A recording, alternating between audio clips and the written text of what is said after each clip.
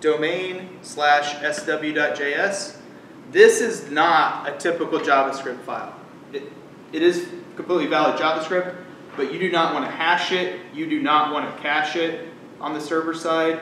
It is a very special uh, thing that you want to understand that it, you want to understand that it's different than like a normal web asset. So let me just play a scenario out for you. So this service worker file, this sw.js, has all of my service worker code. It has all of the logic for how my site caches itself on a browser. So let's say I have a bug in that, and I need to fix it. Okay, great. I fix it, I push my code to prod. I realize that I have been setting my expiration on my JavaScript files and across my entire site with a one-year expiration. You just screwed yourself. Uh, because none of the browsers then, unless somebody's smart enough to know and know how to clear their own local cache, that file is not going to get pulled down by the browser for one year until it expires locally. So you want to be very, very careful about what you set as expires, headers, and cache control headers on that file. Um, you also want to make sure that because it's at the root of your site, uh, service workers have scopes. And this was this kind of threw me for a loop too, but um, a scope it means it, a service worker can only run on tabs that are at the same at its own scope or lower. If that makes sense. So because I have the SWJS file at the root of my site, it has access to any tab under my site, in my site tree. Um, if I were to put that under, you know, slash you know, static files slash JS, it actually couldn't run on any of my other tabs. It's a security thing. It's a way of allowing like um, making sure like if a company wants to host multiple apps under one domain, that those apps don't conflict with each other. So, so yeah, so that's basically uh, how service worker gets registered. You basically wait till the browser is ready and then tell it to, to register. So um, let's keep on chugging here. So then let's build this thing. Come down here. See that? Probably can't see that, so just do this. That's not gonna work. Alright.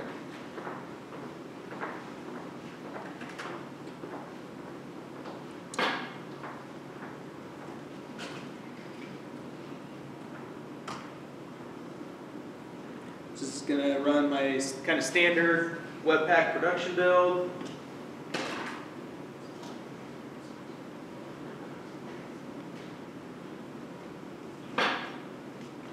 And then while that's running, what it's going to do is it's going to dump everything into this build folder, just so that your compiled output of your site. You can see there's our, our uh, service worker, all good to go. And yeah, so then let's go look at how this looks when it runs. So,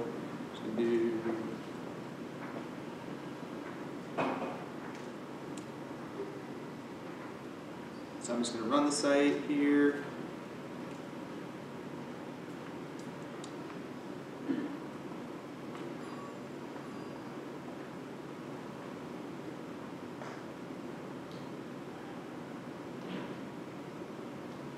And here we go. Okay, so I'm on localhost now. And let's just look at what, what's the dev experience look like for this. So um, you can see here, can you guys see the network tab there very easily?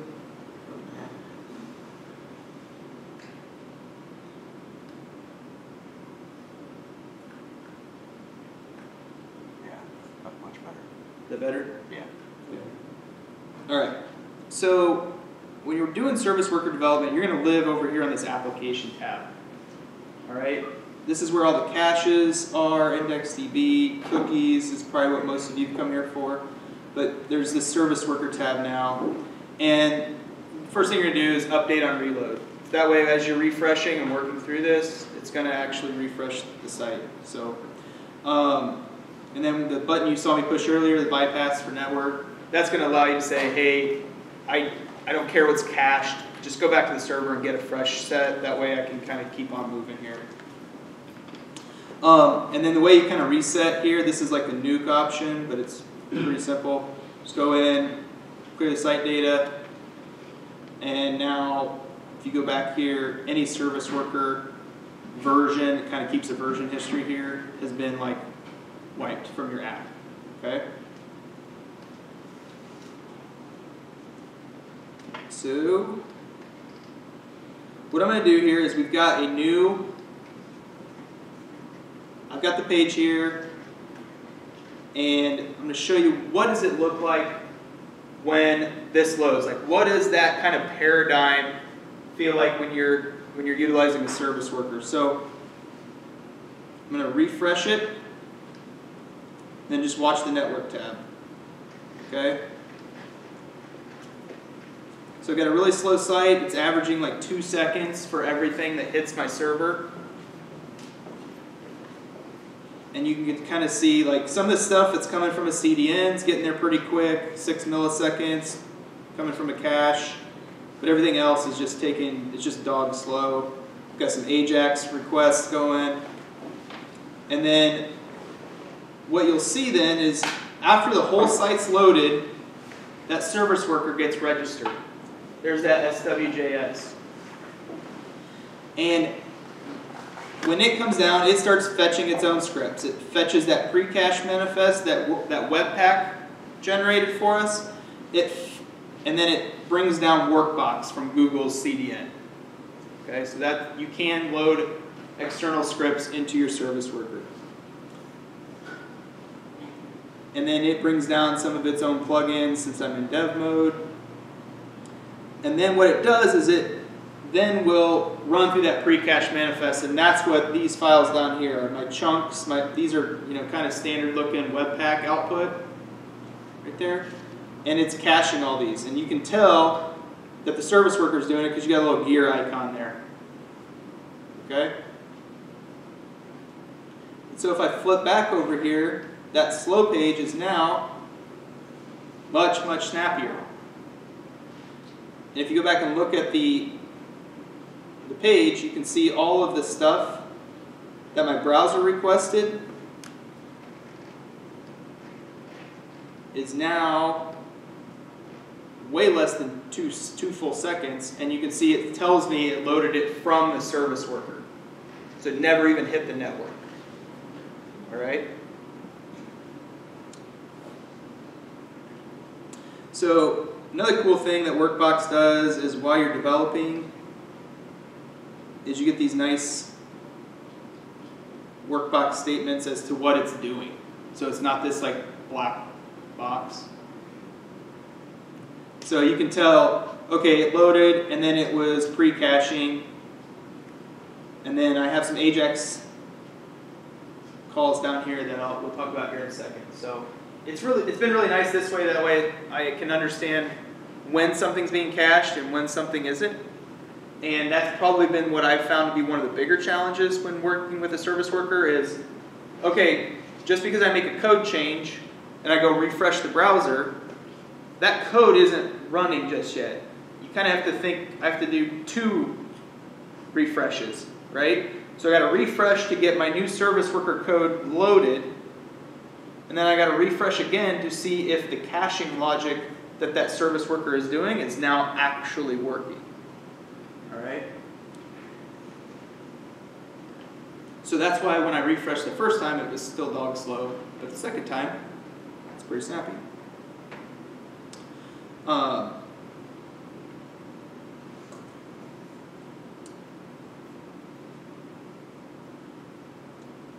let's see, deploying. So then, uh, one last note here too, because this bites people is make sure you aren't uh, hard coding like localhost anywhere. Because when you deploy, um, that will bite you. Um, also, the probably more likely thing that will happen to you is if your um, if your site uses multiple host names, like you have different aliases coming into your site, you need to figure out a way to dynamically pass that host name in when you register the service worker. So if you're at like, um, you know, myapp.yoursite.com, but you've your service worker is being registered under like my internal app.mysite.com, they won't work. It will you'll get an error on that one. So little trickiness there, especially if you're like 10 layers deep inside of a, you know, on like cloud hosting and your IT department is setting up all kinds of different URLs. You'll have to kind of do some some some stuff there. So so now uh, let's kind of get into maybe the meat of what I was going to talk about, and that is I've got site a site that is slow. How can I use a service worker to speed it up? Okay. Um, because while we don't like to admit it, a lot of us in the name of serving our product managers and our customers end up shoving lots of Ajax calls into our page, which makes them just grow, grow, grow in their, uh, their slowness. So uh, this is all in that mission of getting that TTI, that time to interactive, down. So what I've done here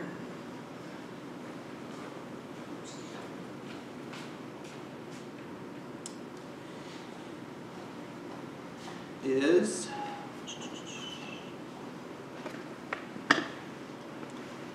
so I wasn't completely sure exactly how reliable the network was going to be, so I, I, did some cheating here. But um, effectively, what I have is a uh, and a four AJAX requests. We're firing them all off in parallel. They're all going to the same place, um, and I have to wait on all those to complete before my graph is ready to show. Okay? Done this scenario fair, a fair number of times. For internal business apps, you know, you've got like Chart.js or something and you're trying to show your CEO a dashboard. But you got to fetch a bunch of data before you can show that dashboard, right? Um, so yeah, so I'm going to fetch all that data before I, until I got that data fetched, I'm not going to re render my React app. Um, so if we flip back here, I'm still on localhost. What I'm going to do here, clear this stuff. I'm going to wipe my service worker real quick. And reload it. I'm going to do this, I know I did this before, but I think it's good to kind of see what see this multiple times. There the page kind of loaded slow, still loading, still loading, still loading. There we got the chart, finally. Okay? So how do I overcome this? Well, if I refresh again,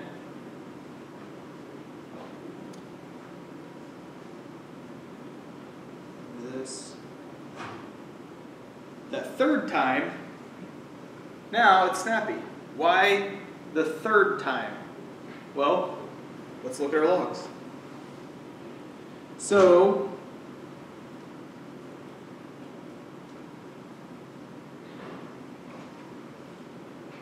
what happened here is first time, first page load, we just got the service worker down. And all the service worker knew to do on the very first initial install of itself is to pre-cache the, the site assets, right? That's all I had told it to do. The second refresh, I had my AJAX calls kick off, which you can see um, right here. But I had told the service worker to cache these AJAX calls, which is what I want to do, but the caches weren't primed yet. So that second refresh was just priming the cache just getting that data in there. The third refresh, we finally see the caches start to do something for us. Okay? And you can see it saying, basically, I intercepted this call and I used a stale while revalidate strategy. So what does that mean? Well, if I go back over here to my network tab, And let's clear this out. Now my caches are primed. Refresh this. What's going on here? If I can get enough of these windows dragged out of the way, we can see what's going on. So, the sum data is my Ajax calls, right? You can see I shot four of these off. The service worker intercepted those, responded with the cache value. I had 25 millisecond calls. That's awesome. And then immediately after that, you can see the service worker then sent out four Ajax calls in the background. And you can see each one is a nice giant stair step that makes users very, very sad. And it's refilling that cache. Okay? So this is one of work what Workbox calls a strategy. And this is their, their safest strategy right out of the uh, right out of the gate. Is every call you make, it's going to say, do I have a cache value? Yep. Okay, I'm going to hand you that cache value, but in this in parallel, I'm going to go back and try to update that resource at the same time. Okay? So that way subsequent calls are it's trying to keep that cache as fresh as possible. And that's why I call it the safest option out of the box. Like you're gonna you're you're gonna have a very, very small window there where you're not effectively getting the the, the most uh, the most recent data. So, so let's talk a little bit more about what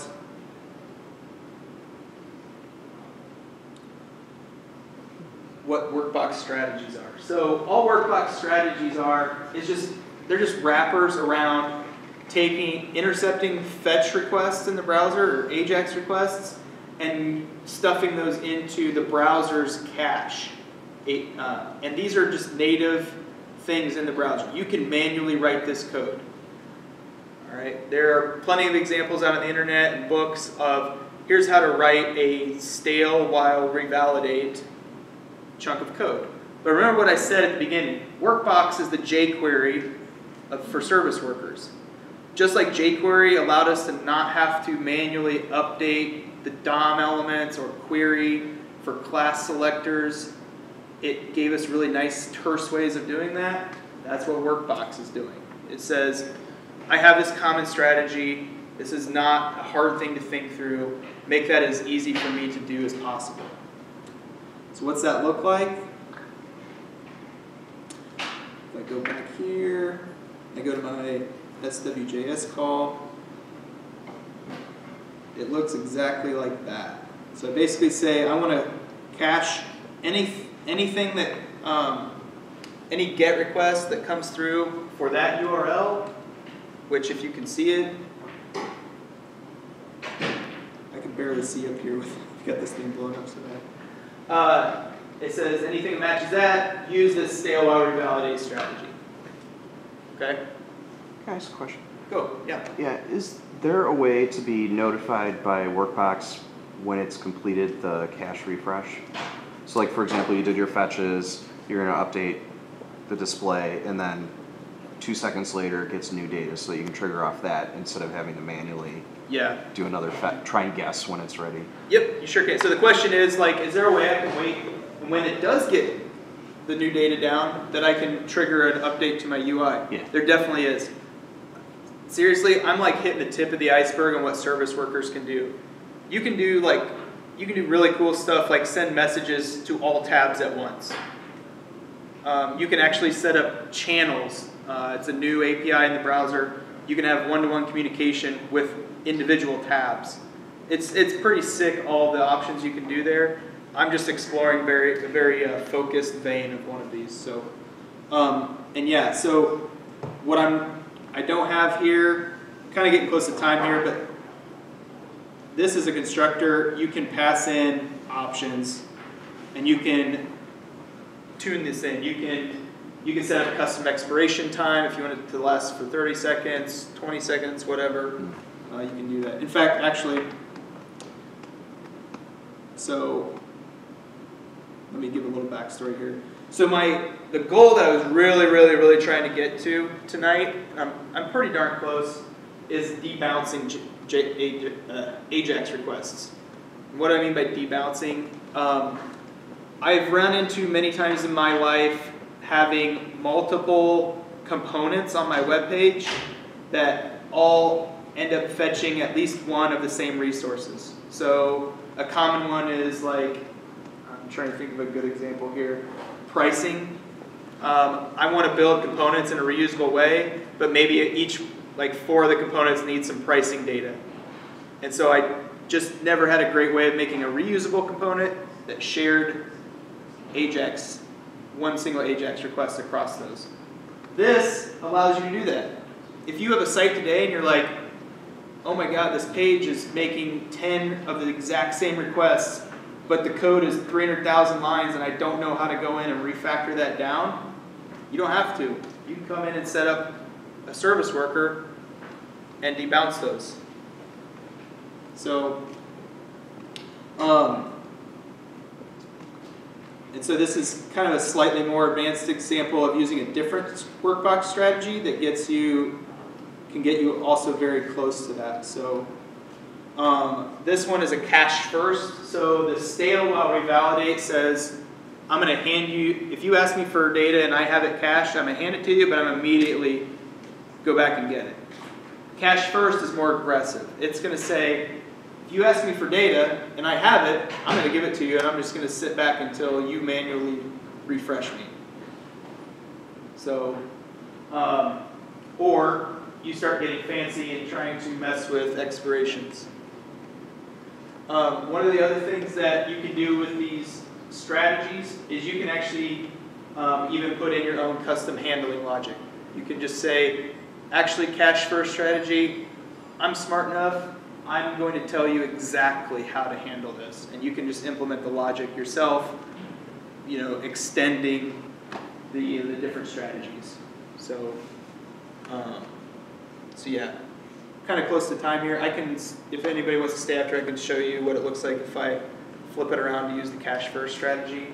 Um, it actually does debounce them. You'll see one request go out, but then the expiration is what kind of bites you there. You got to fiddle with that one a little bit more. So, um, so yeah, and yeah, like I said, if you want your pages to be that fast, when they start out being at least eight seconds to get there, there's a viable path to do that. So, um, yeah, that's that's it for me tonight. Um, anything else? Nope. That's my Twitter handle. Um, I'm on that way more than my wife would like, so if you have questions, feel free to hit me up. So, thanks. Thank you.